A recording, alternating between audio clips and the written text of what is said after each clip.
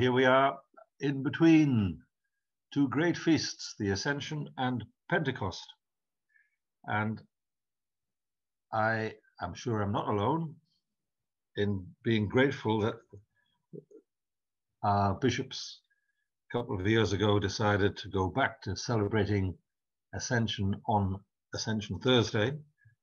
And that gives us this uh, special time, this novena of days between Ascension Thursday and Pentecost to prepare for this most wonderful feast of Pentecost.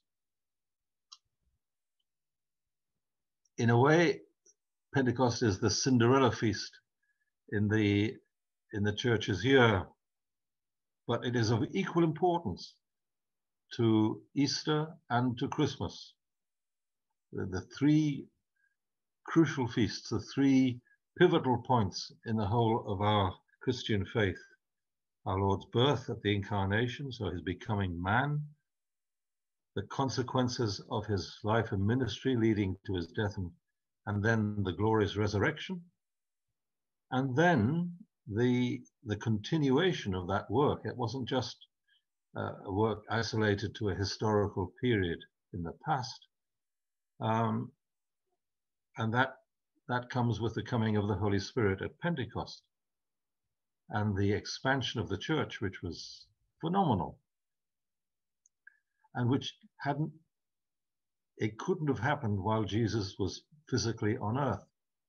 It had to be the uh, I say it couldn't have happened, but the the reality is that we we were given the Holy Spirit, the Spirit of God, the third person of the Blessed Trinity, to be in our lives, in our hearts, in our minds, and uh, in our community, so that we could be Christ for the world. That's what that's what the Holy Spirit makes us so these days are between now and, and next weekend, I think are very important days in which to pray for the coming of the Holy Spirit, the renewal of his gifts in our lives, and uh, and to ask for a fresh outpouring of the Holy Spirit so that um, we can move on. The Holy Spirit, the metaphor for the Holy Spirit is wind and wind is doesn't remain doesn't like it opposes stagnation it's the opposite of stagnation and wants us uh, that the wind freshens the air changes the air gives us new direction puts wind in our sails puts movement into our lives it's a great uh, so so this this time is very, very important. But let's not neglect the ascension either. In some ways, the ascension is a little harder for us to grasp.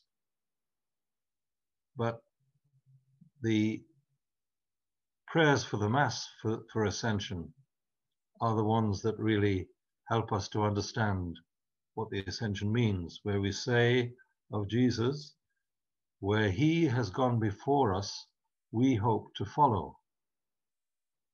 So the Feast of the Ascension uh, underlines for us the, the truth that we are destined to share life with God, the fullness of life, a life of bliss unimaginable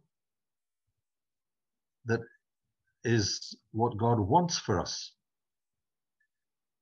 And I think we I don't know whether I'm alone in this, but I think we, we, we, we, find that very hard to believe that God wants that life for us. We feel that we have to earn it. We feel that we have to be good. Uh, well, of course we have to be good, but do we do we get to heaven because we're good? We get to heaven because the Lord takes us there. And there's, there's good and bad in all of us, as we know. And there'll be good and bad of us until the end of our mortal lives. So the Ascension is a great uh, feast of promise and a great feast, a feast of hope. Where he has gone, we, by God's grace, will follow. And Jesus said, I want you to be with me where I am. He says that in John's Gospel. I want you to be with me where I am. Listen to those words. Where is the Lord? The, the Lord is, is with the Father. And that's the promise that he holds out to all of us.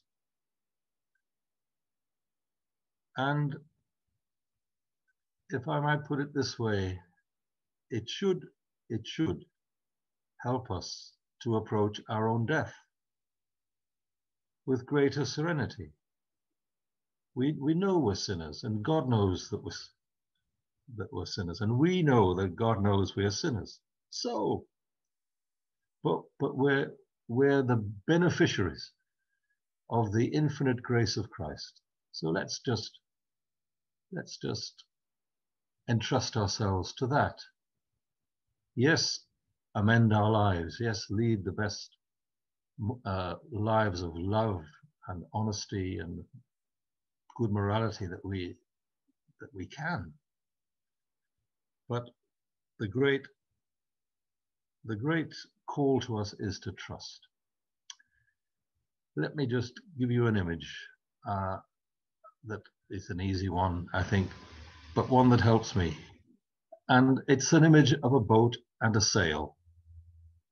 And all we, if we really want to make progress, dear sisters and brothers, if we, we if we want to get anywhere in our boat, we have to hoist the sail. Now we can't make the wind blow, but we know that if the sail is up, the wind will blow, and that wind is the Holy Spirit, and we rely on the Holy Spirit to take us to our destination. I want those who have given you, I, I want those you have given me, says Jesus to his Father, to be with me where I am, so that my own joy may be in them and their joy be complete. Amen. Happy Feast of Ascension. Happy Feast of Pentecost to come. Uh, just brief notices this week, dear friends. Please keep in mind the uh, Provincial of the Carmelites, Father Kevin Alban, whose funeral is taking place at Aylesford on Monday. And pray for the Carmelites who have lost a, a wonderful, charismatic uh, leader. Uh, and of course, he will have to be replaced, and that's not going to be easy. So please pray for the Carmelites in we have in Faversham and in Aylesford. And we will also next Saturday be having our scripture reflection again. And uh, we'll look forward to welcoming people to that at nine o'clock next Saturday morning. You will see from the newsletter that there are new offertory envelope boxes and they will be available through Sister Corin. Uh, they're due to start at the beginning of June. Good. Have a good weekend and a lovely week ahead.